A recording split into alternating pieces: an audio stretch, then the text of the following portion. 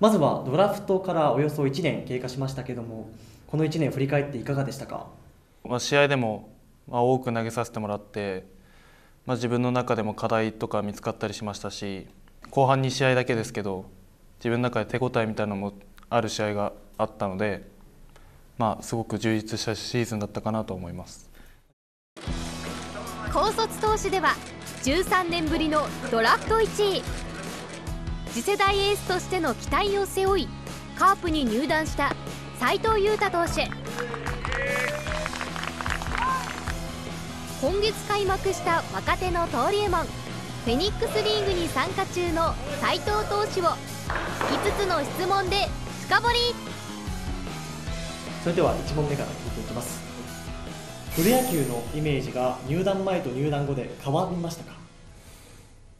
うんはい。こちら×はい。なるほど。プロ野球のイメージが変わってないということですけどもこちらの理由は？もともと厳しい世界だっていうのは分かった中でやっぱり入団してプロ野球の世界に足踏み入れて2軍でですけどデビュー戦投げさせてもらって先頭打者ホームラン打たれたりとか、まあ、その最初の方は自分の思うような結果が残せてなかったので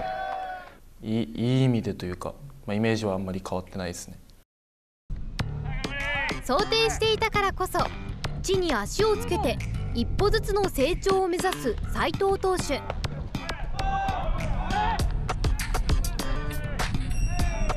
高卒ドラフト1位で入団っていうのは球団からそして周りからの期待も大きかったと思うんですけどそのプレッシャーをどのように力に変えましたか？自分がそこまでそのなんていうんですかねプレッシャーだとかをあんまりその感じる方じゃないというか多分ちょっと鈍いと思うんですけど。そうなんですか。はい。なので、まあ、周りの方々もすごい先輩たちもすごい優しく接してくれたので自分的にはあまり気負わずにそのシーズン通してやれたかなと思ってます。続いて2問目。はい。手応えを感じていることがある。はい。こちら丸。はい。はい。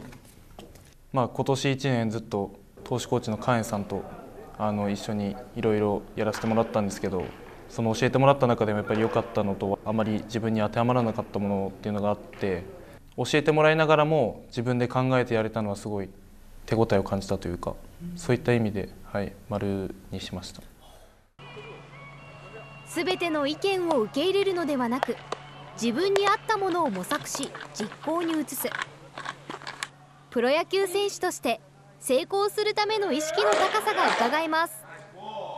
自分の中に当てはまった指導っていうのはどんな指導でしたか？まあ、その下半身の使い方とかはそのいろいろ教えてもらって上が強い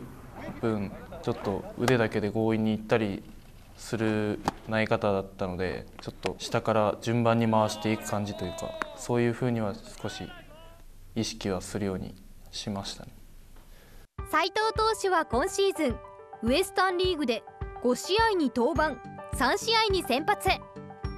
終盤のソフトバンク戦では練習方法だけでなく実戦の中で掴んだ手応えもありました。まっすぐのその質が、まあ、少しずつ安定してきて、まあ、今までだったらヒットにされていたようなボールでもファウルが取れたりとかその打ち損じてくれてゴロになったりとかはストレートが変わってきているのかそれともなんかフォームがタイミングがちょっと取りづらくなってきているのか分かんないですけど違いを感じたというかそういったのはありましたね。続いて3つ目。北海道出身ということですが、はい。広島の生活には慣れましたか？悩んだ末に丸。ありがとうございます。夏場は体調が崩れたりとか調子が出なかったりとかはすごいあったんですけどその暑さだけじゃないですけど他のことはまあちょっとずつ慣れてきたのかなと思って。やはり暑さは北海道とは違いますか？暑い時期が長いかなっていうふうには感じました。ドラフト直後の指名挨拶。広島での生活に期待と不安が入り混じる中新井監督とはこんな会話を交わしていました広島ののおすすめのご飯っていうのを教えてもらいたい。はい。そのカープの2軍のお寮の食事っていうのはもう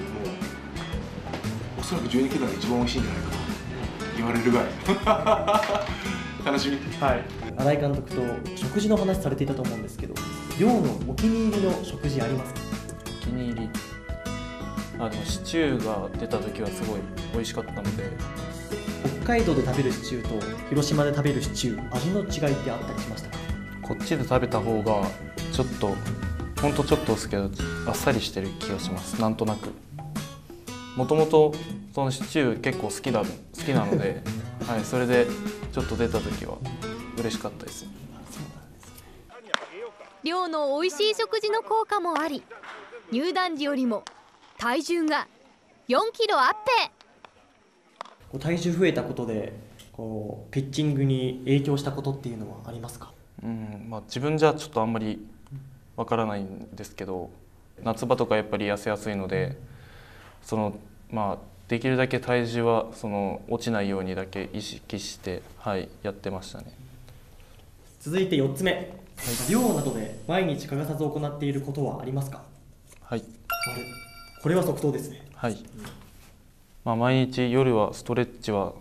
できるだけ短い時間でもするようにはしてます。全身固めなのでそのまあ柔らかくしたいのもあるんですけど、まあ、疲労とかもやっぱりたまらない方がいいと思うので本当にちょっとの時間でもできるだけやるようには心がけてます。最後は待ち遠しい一軍デビューに関する質問です。目標は来シーズンに一軍デビューだはい。丸ありがとうございます。1軍では、まあ、いずれ投げたいなと思ってるんですけど来年は1イニングでもいいんで、まあ、投げさせてもらえるように2軍でまずはしっかり結果を出してその呼んでもらえるように頑張りたいなと思って。まあ、来シーズンデビューするにあたって課題に感じていることっていうのはやっぱり変化球の精度が日によってバラバラだったりとかはするので、まあ、その辺はやっぱり安定させないといけないなって思ったのと、まあ、あとはストレートの質は、まあ、ちょっと良くなってきたとはいえまだまだだなと感じるので自分のいいボールが確率よく出せるようにやっていきたいなと思います。まあ今年もドラフトで多くのルーキーが入団してくると思いますけど今後に向けた意気込みを教えてください次のドラフトでもやっぱり投手の方がいっぱい入ってくると思うので競争に負けないように自分自身をもっと高めて一軍で活躍するのがやっぱり目標なので活躍できるように頑張りたいなと思います。